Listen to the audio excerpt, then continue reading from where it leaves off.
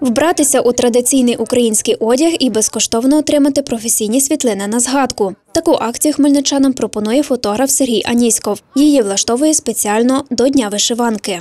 Я, як ну, людина активна, е, на волонтерських засадах безкоштовно запропонував людям, які зголосилися на фотосесію. Це повага до нашого роду і це вивчення історії, тому що нація, яка не має свого коріння, не має свого майбутнього. Одними із перших до фотосесії долучились волонтери об'єднання Захист. Майже всі абсолютно підтримали. Не всіх, е, на жаль, є вишиванки.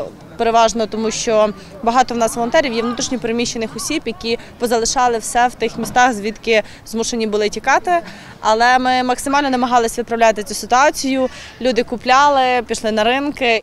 Світлину у традиційному вбранні відтепер має волонтерка Альона Цвіток. Вишивану сукню їй подарувала мама. Вишиванка це щось наше національне і наскільки нам рідне, що в такий день неможливо це не підтримати.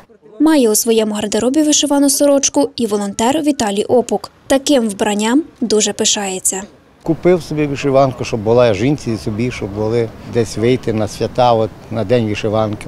Особливо цікавить Сергія Аніськова старовинне вбрання, що переходить із покоління в покоління. Як от вишиванка волонтера із позивним Петрович. Цій сорочці уже більше 60 років. Мій хресний батько е, її придбав, коли йому було 16 років, це була його перша зарплатня, він придбав цю вишиванку. Коли я вже був досить дорослим, е, напевно, біля 18 років він мені подарував і сказав е, носити її з гордістю. Я вдягаю, коли в мене є відчуття перемоги. Учасники фотосесії говорять, хочуть, аби українці вишиванку носили не лише на свята, а й у повсякденному житті. Адже такий одяг є генетичним кодом нації.